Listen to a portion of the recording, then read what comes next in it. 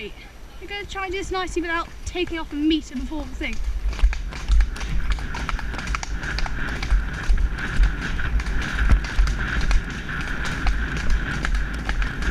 Jesus! Sorry, Sophie.